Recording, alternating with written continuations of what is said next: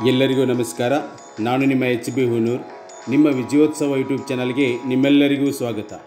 ಈ ದಿನ ನಾವು ಎಸ್ ಎಸ್ ಎಲ್ ಸಿ ವಿದ್ಯಾರ್ಥಿಗಳಿಗೆ ಸಂಬಂಧಿಸಿದಂತೆ ಸಮಾಜ ವಿಜ್ಞಾನ ವಿಷಯದಲ್ಲಿ ಬರುವ ರಾಜ್ಯಶಾಸ್ತ್ರ ವಿಭಾಗದ ನಾಲ್ಕನೇ ಅಧ್ಯಾಯ, ಜಾಗತಿಕ ಸಮಸ್ಯೆಗಳು ಮತ್ತು ಭಾರತದ ಪಾತ್ರ. ಈ ಅಧ್ಯಾಯವನ್ನು ಕುರಿತು ಒಂದು ಅಂಕದ ಪ್ರಶ್ನೋತ್ತರಗಳ ಸರಣಿಯನ್ನು ನೋಡೋಣ. ಇದು ಹದಿನಾಲ್ಕನೇ ಸರಣಿ. ಮೊದಲ ಪ್ರಶ್ನೆ ಅಮೆರಿಕ ಕ್ರಾಂತಿ ಯಾವಾಗ ನಡೆಯಿತು? ಹದಿನೇಳುನೂರ ಎಪ್ಪತ್ತಾರು.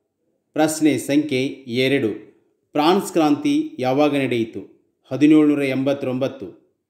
ಪ್ರಶ್ನೆ ಸಂಖ್ಯೆ ಮೂರು. ರಷ್ಯಾ ಕ್ರಾಂತಿ ಯಾವಾಗ ನಡೆಯಿತು? ಹತ್ತೊಂಬತ್ತು ನೂರ ಹದಿನೇಳು. ಪ್ರಶ್ನೆ ಸಂಖ್ಯೆ ನಾಲ್ಕು. ವಿಶ್ವಸಂಸ್ಥೆ ಮಾನವ ಹಕ್ಕುಗಳನ್ನು ಯಾವಾಗ ಘೋಷಣೆ ಮಾಡಿತು? ಹತ್ತೊಂಬತ್ತು ನೂರ ನಲವತ್ತೆಂಟು ಡಿಸೆಂಬರ್ ಹತ್ತು. ಪ್ರಶ್ನೆ ಸಂಖ್ಯೆ ಐದು.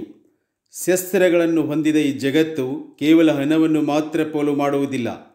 ಬದಲಾಗಿ ಕಾರ್ಮಿಕರ ಬೆವರನ್ನು, ವಿಜ್ಞಾನಿಗಳ ಬುದ್ಧಿವಂತಿಕೆಯನ್ನು ಹಾಗೂ ಮಕ್ಕಳ ಆಸೆಗಳನ್ನು ವ್ಯಯಗೊಳಿಸುತ್ತದೆ ಎಂದು ಹೇಳಿದವರು ಯಾರು?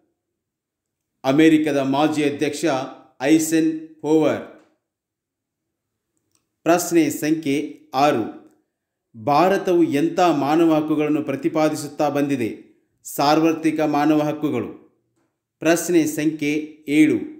ಭಾರತದ ಸಂವಿಧಾನದ ಎಷ್ಟನೇ ಭಾಗದಲ್ಲಿ ಮೂಲಭೂತ ಹಕ್ಕುಗಳಿವೆ? ಮೂರನೇ ಭಾಗದಲ್ಲಿ.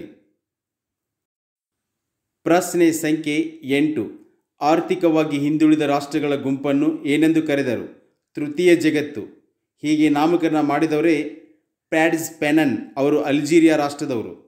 ಪ್ರಶ್ನೆ ಸಂಖ್ಯೆ ಒಂಬತ್ತು. ಭಾರತದ ಸಂವಿಧಾನದ ಎಷ್ಟನೇ ವಿಧಿಯಲ್ಲಿ ಮೂಲಭೂತ ಹಕ್ಕುಗಳಿವೆ? ಹನ್ನೆರಡರಿಂದ ಮೂವತ್ತೈದನೇ ವಿಧಿ. ಈ ಮೂಲಭೂತ ಹಕ್ಕುಗಳನ್ನು ನಾವು ಅಮೆರಿಕ ದೇಶದಿಂದ ಎರವಲು ಪಡೆದಿದ್ದೆವು ಪ್ರಶ್ನೆ ಸಂಖ್ಯೆ ಹತ್ತು. ಭಾರತದ ಈಗಿನ ವಿದೇಶಾಂಗ ಮಂತ್ರಿ ಯಾರು?